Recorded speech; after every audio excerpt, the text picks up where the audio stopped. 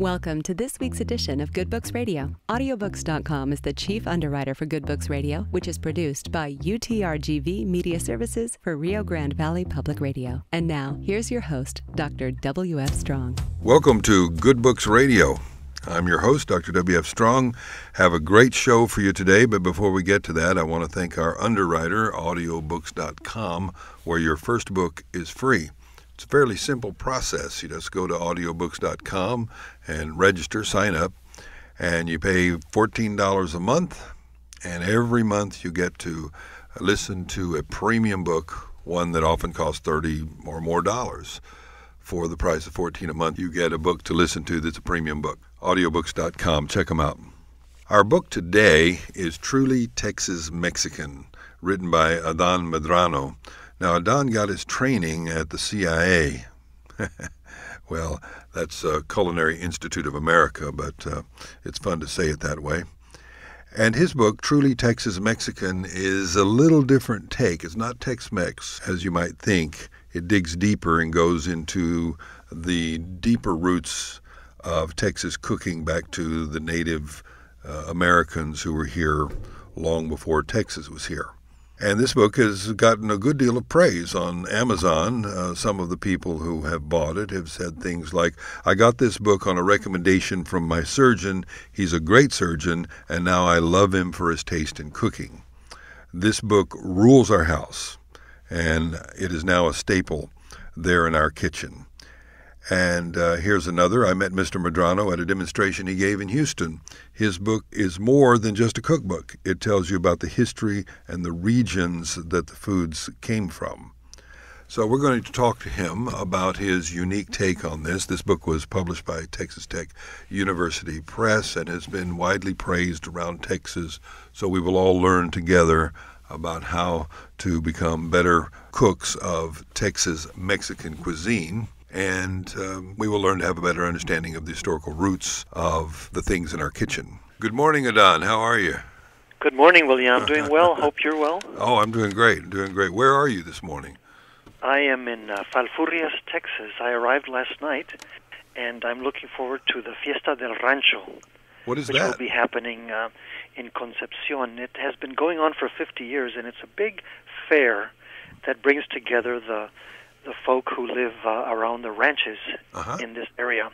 And there's a rodeo, there's uh, cook-offs, there's cabrito cook-offs, and uh, food booths and uh, and musical entertainment from the area. So it's a it's a great fair, and I'm looking forward to it. It starts tonight.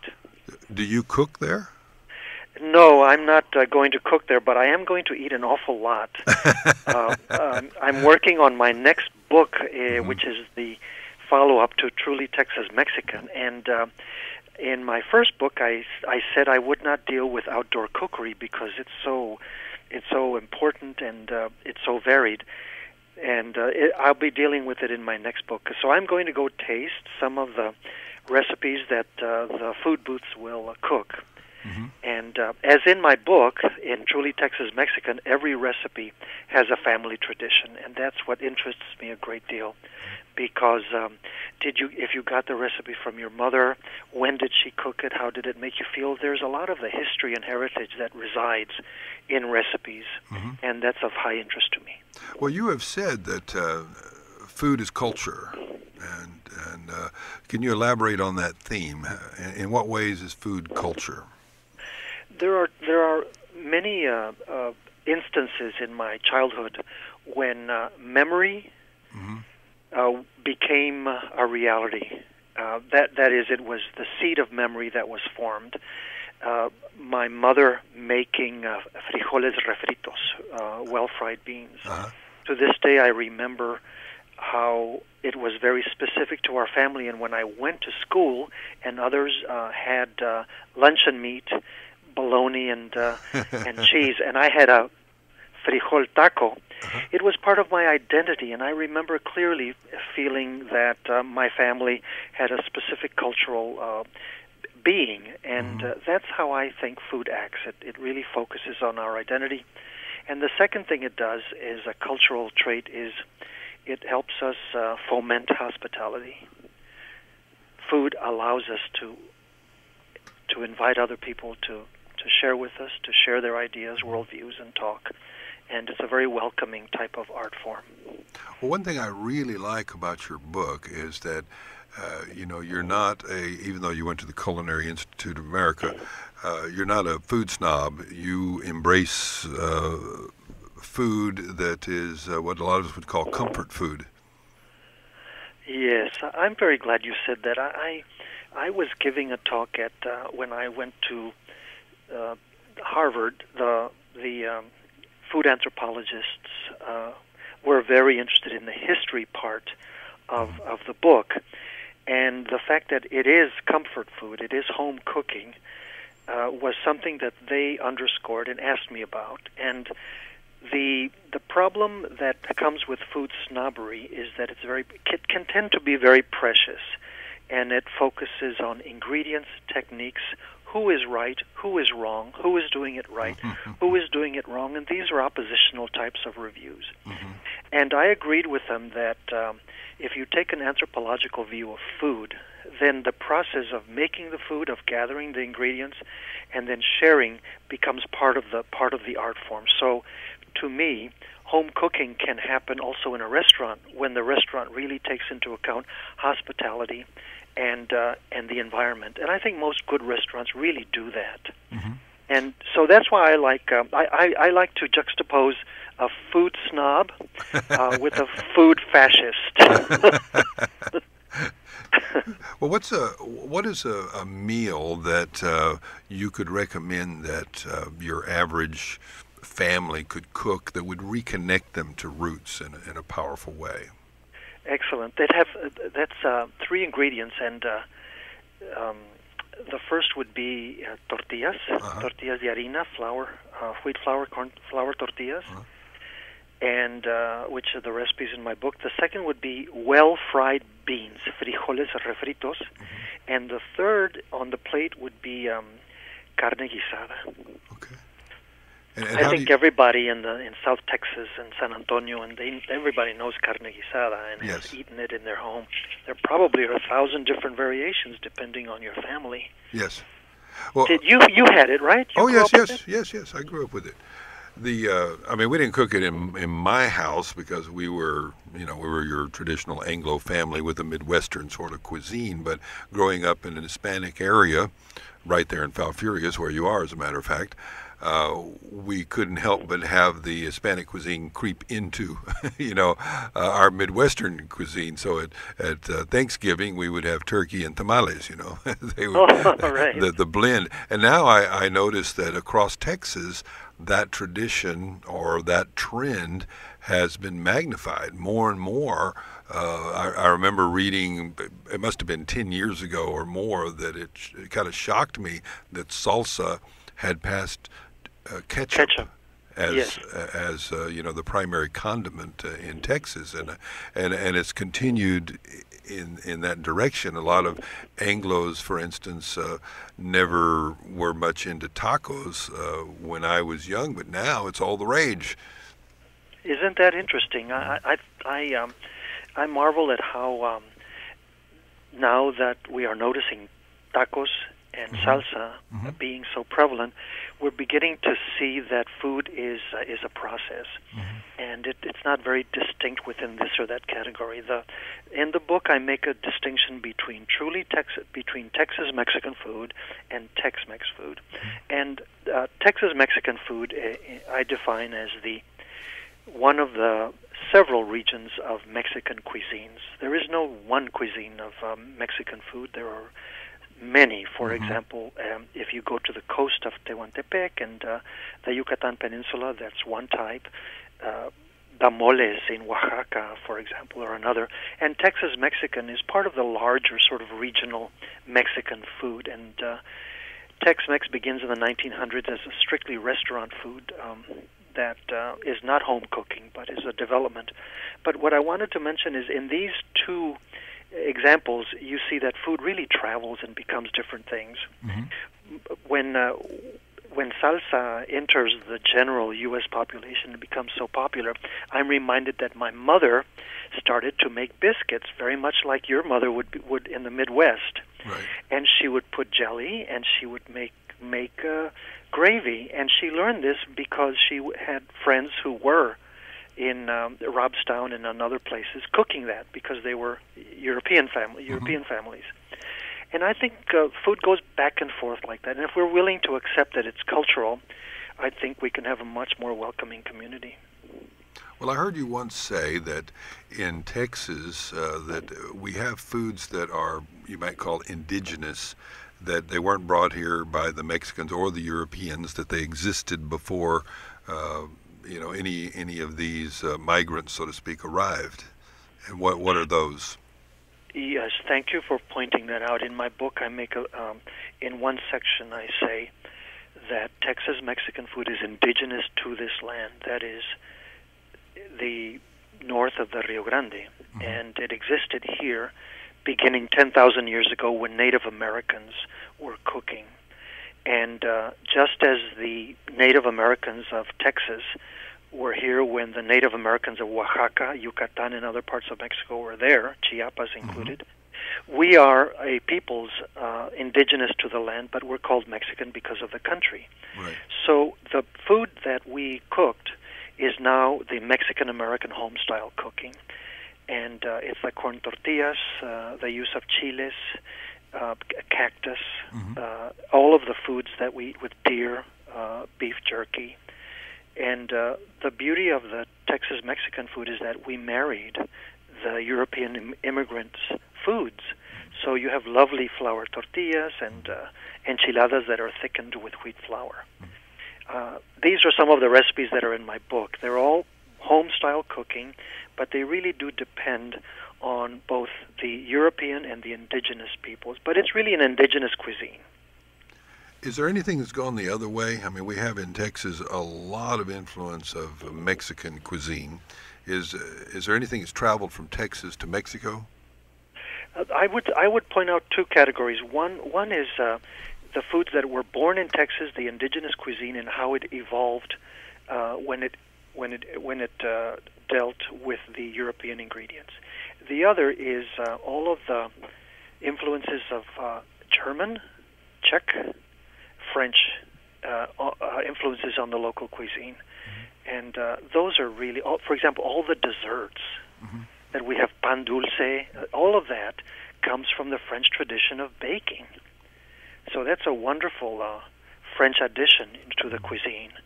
And uh, the Native Americans were already making sausage. Pemmican, you know, is the mm-hmm. Deer sausage. We were already making that uh, 10,000, well, 5,000 years ago. So when the Germans arrive, and of course they're wonderful at making sausage, um, yes, we very quickly adopted that, and now any Mexican American cookout is going to have, you know, sausage. So it's a it's a wonderful confluence of the various cultures. But I think, uh, as I mentioned in my book, the delicious way that the indigenous peoples uh, made their own cuisine is is what we enjoy in the Mexican restaurants. So chorizo was influenced by German sausage making. Yes, the hard chorizo, like country oh. sausage that oh, we I see. Eat.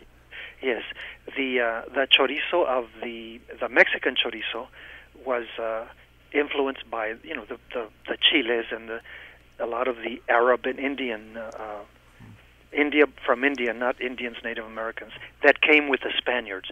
For example, in the Mexican chorizo, you have cinnamon, a little bit of clove, all of this very Arabic Indian types of uh, traditions. Mm-hmm. And uh, you're you're a well-traveled man. You've been all over uh, Europe, South America. Uh, what is the modern uh, export potential, so to speak, of of the Texas Mexican cuisine? What's what's being used in Europe that came from here? Uh, you know, when I was when I was in uh, Berlin, mm-hmm. I was in London, Sweden. They had they all had Mexican restaurant. Amsterdam, they had Mexican restaurants with a picture of the Our Lady of Guadalupe on the sign outdoors. Can you? I thought I was back in Harlingen. and so, and uh, they they simply love uh, enchiladas, tacos, and uh, the the uh, the rest- Mexican restaurants in Mumbai, India, have uh, typically served what they call Tex-Mex, and that's food with a lot of yellow cheese, very gooey, and uh, tons of uh, lettuce. And um, last year, the uh, Wall Street Journal ran an article about how they, the people in Mumbai, the restaurateurs, have found a, a less expensive way to to import chiles and the fresher ingredients of uh, of Mexico, and they're doing it through some Texas connections.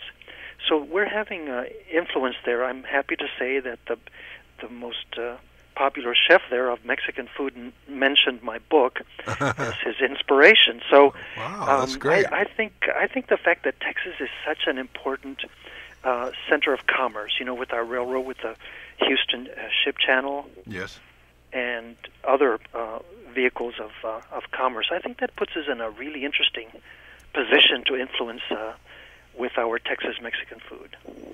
If you were going to be uh, traveling somewhere for, let's say I were going to, I was going to send you to Central Africa for whatever reason, and I'd say, okay, uh, you can't, you're going to have to take with you what you're going to want there to cook with. Uh, what spices would, can you not live without?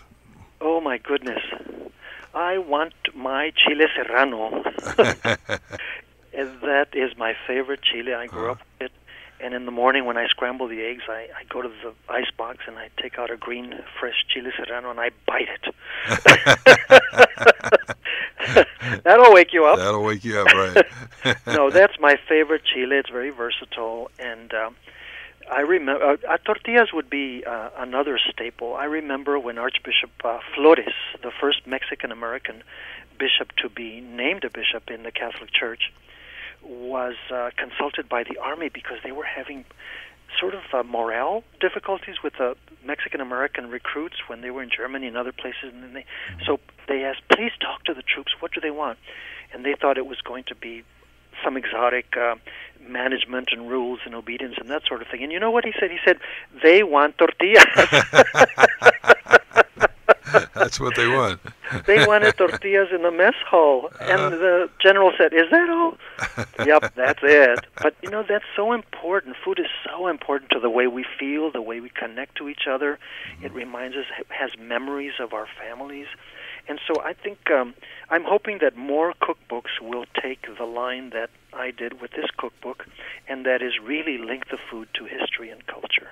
Well, that is what I like about your book is that it is linked. Uh, it is a it is a cookbook that helps you cook right now great things, but it also gives you the uh, historical connection to the roots of that food. It really does. And you know, when, when you mentioned during your class, by the way, thank you for inviting me to yes. address your class. Yes. Uh, during the class, when you mentioned the history of the relationships between uh, some of the Karankawa tribes and other tribes, and there was already some warfare and animosity existing, and then the Europeans arrived. Um, when you asked that question about how that worked, it was really important because I had left out that dimension of the history. Because if we look back at the food and how we dealt with each other, it just helps us better understand who we are as Texans and the various communities that eventually came together. So uh, that that was important.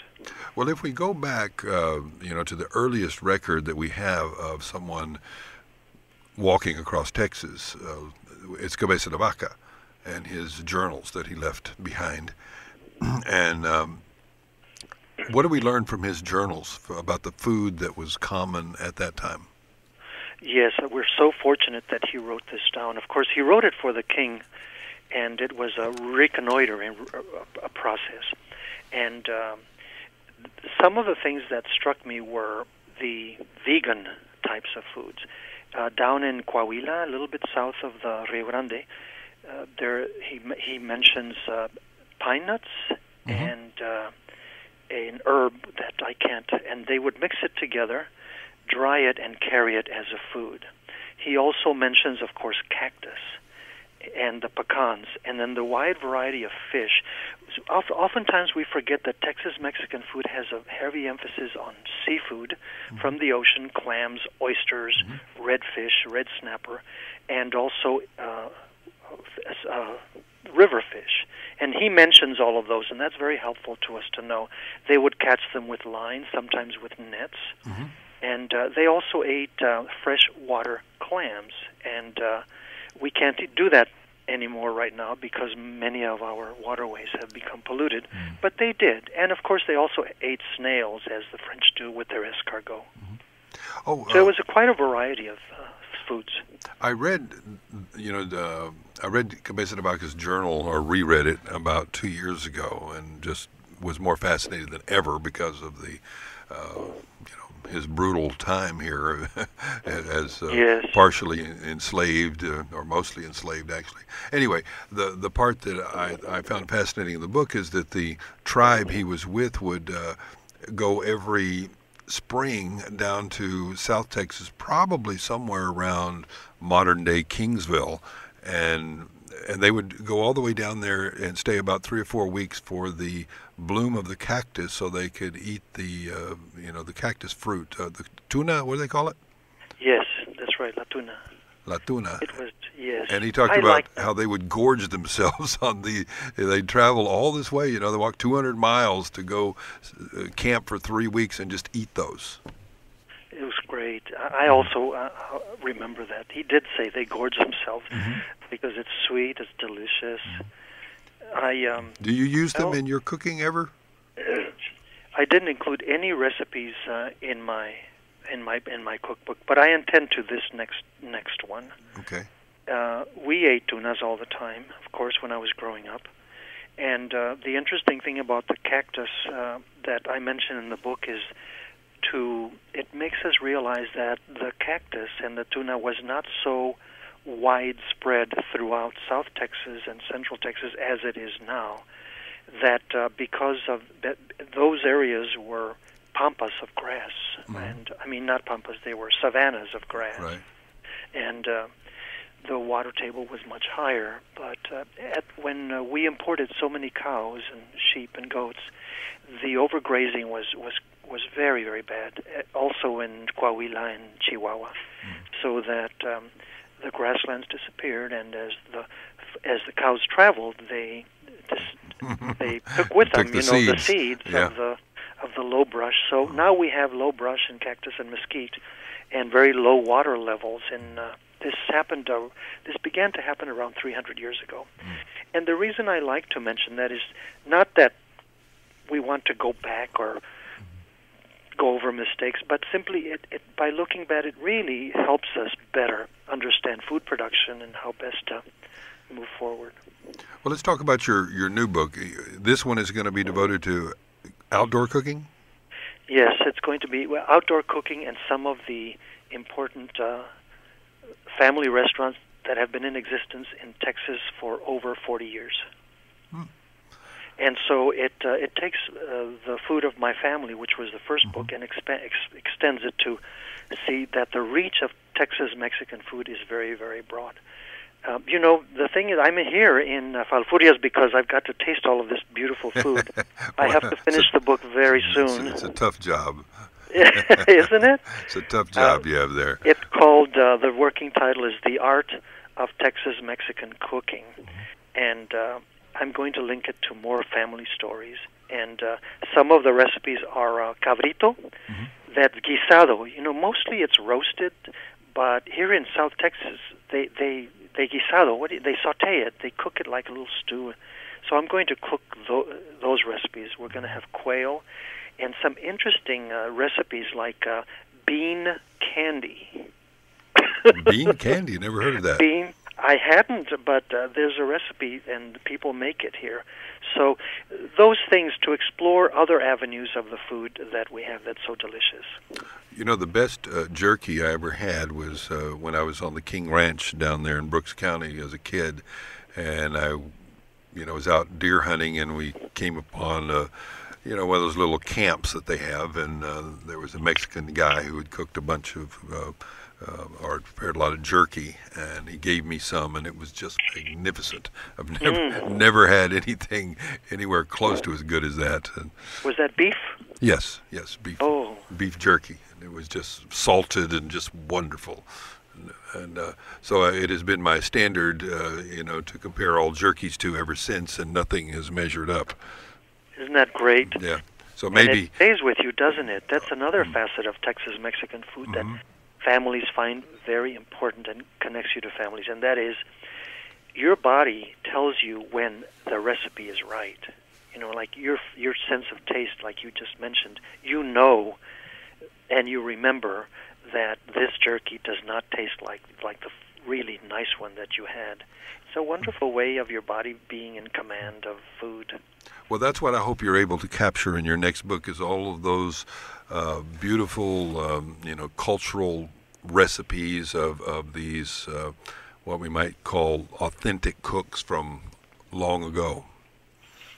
I, I um, am really attempting to do that. I think what it will what will happen is that food will then invite us to sit at the table where all are welcome.